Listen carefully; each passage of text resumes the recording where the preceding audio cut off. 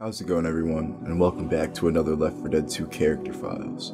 For today's episode, we're going to be taking a look at the raunchiest special infected in Left 4 Dead 2, the Spitter. I mean, just look at this thing. It literally looks like a southern tramp that's dope off meth and ketamine. I remember first seeing the Spitter for the first time loading up Left 4 Dead 2, and that intro cutscene plays, and the Spitter is just looming over Rochelle and Nick, just dripping that gauze everywhere. It just gave me the heebie-jeebies as a kid growing up. So without further ado, let's investigate exactly what makes the spitter a spitter.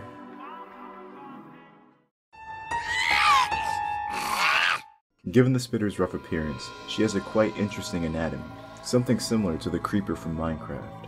One of the first things you may notice about the spitter upon first glance is that her jaw is practically non-existent. Many believe that this is due to the strong stomach acids that the spitter secretes, but we'll get to that later. She has her hair done in pigtails, and according to the in-game cutscenes and her character model, the Spitter can have either blue or green eyes. The Spitter wears a dingy-ass white bra or tank top, whichever you think it is, some dirty capris, and she doesn't wear any shoes. Honestly, the Spitter looks like one of those natives you'd find living in the Appalachians of West Virginia. If you don't believe me, just give it a quick Google search. But the outfit just says it all, especially the lack of shoes. I mean, the hunter even wears shoes. Like, come on now, that's, there's no excuse for that. It's how you get ringworm on your feet. Now, the spitter is known for doing just that, spitting this green acidic goo all over the place, creating a dangerous hazard for the survivors. Now, many speculate exactly how the spitter managed to obtain the ability to spit up such acid, but many agree that the green flu infection may have mutated the acids in her stomach and basically made it well, super acidic to the point where it literally melted up her insides, hence why she is missing her jaw, and her belly flops around all over the place. The acids will also leak out of the spitter's mouth while she is walking around, and as well as when she dies, she'll explode into a green acidic mess. Similar to like when the boomer is killed, he'll explode and his vomit will spread all over the place, attracting special infected. I should also note that the spitter's acids also glow. This makes it easier to spot the spitter from a distance, as well as any piles of acid she may have spit up. It's believed that this happens because the spitter is actually incapable of controlling when and how much of the acids her body creates, so she has to constantly release the acids or else she can explode. Taking a little bit closer of a look, something that I never noticed before, because I mean, who really wants to get more up close and personal with this thing when they don't really have to? You'll see that the spitter actually has rings on her fingers. And if you look a little bit closer, you'll make out the ring that she has on here, and this finger here is the ring finger, meaning that prior to becoming a literal meat bag of acid, the spitter lived a relatively happy life, finding marriage, and probably even having a little family of her own, all of which may have been utterly destroyed during the apocalypse, but hey, it goes to show that at some point in time, that times were much simpler before the world was plunged into zombie chaos. Complete side note, but if you were to ask me, I think if zombie relationships were a thing, I'd totally ship the Charger and Spitter. I mean, look, they look so cute together. For this next segment, I'm actually going to switch it up, and unlike my other videos, since the special infected don't really have much of a backstory, or if any backstory at all, I thought I'd just go a little bit more into detail about the character and its overall uses when compared in the game modes. For majority of the game modes like campaign and survival, the Spitter has the same abilities and attributes, However, its uses change depending on the game mode you're playing.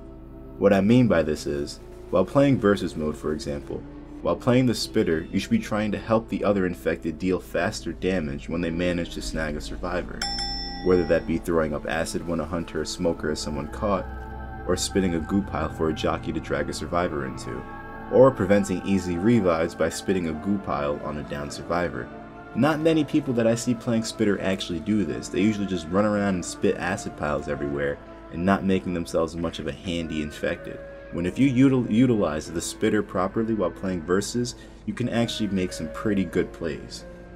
However, these motives change ever so slightly when playing Scavenge mode. If you aren't too familiar with Scavenge mode, then lucky for you because you can watch this video here that I made where I go a little bit more into detail on scavenge mode and explain what it is and some strategies that you could try out so you can always win. Alright, so in scavenge mode, the spitter's objectives retain relatively the same, although now you can destroy dropped gas canisters that the survivors may have piled up for some easy points, or if they dropped it when they got scooped up by a charger. You won't believe how many people don't know this, even though it's literally a tip displayed on the loading screens every now and then. Every now and then, I'll boot up a game of Scavenge and find myself having to remind someone that's playing Spitter Yes. that they can destroy No. the gas cans after the survivors she pick them up and the put them back down. She should've went for And tip, cans. those are the only ones the Spitter can destroy. They can't destroy the ones they haven't touched yet. The easiest way to tell which ones are destroyable and the ones that aren't is that the destroyable gas cans have a yellow outline, while the indestructible ones have a white outline. I'm hoping with this new knowledge, next time you find yourself playing scavenge with your buddies, try and coordinate some mean plays, especially with Spitter, and there's no reason why you can't take a dub. Alright guys, that's it for today's character file. I hope you guys enjoyed the video, and if you're interested, you can check out that scavenge game mode video where I explain my winning strategies, or you could check out my other character files on the rest of the Left 4 Dead roster. Also, only a fraction of you guys are subscribed, so if you're liking the Left 4 Dead content and would like to see more, make sure to leave a like, subscribe, and I'll see you guys in the next video. Peace out.